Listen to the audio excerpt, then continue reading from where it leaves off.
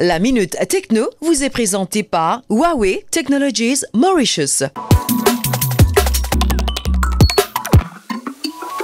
Bienvenue dans la Minute Techno.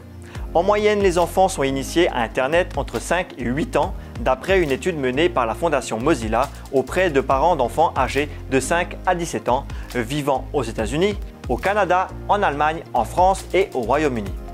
En Allemagne et en France, les enfants découvrent Internet en moyenne à l'âge de 7 et 8 ans respectivement. Dans le détail, 36% des parents américains déclarent initier leurs enfants à Internet entre 2 et 5 ans, contre 35% et 34% pour les parents canadiens et britanniques. Un pourcentage qui tombe à 21% pour les parents allemands et à 16% pour les parents français. Ces derniers sont en revanche plus nombreux à faire découvrir les rouages du web à leurs enfants à l'âge de 5-8 ans et de 8-11 ans. 36% et 32% respectivement.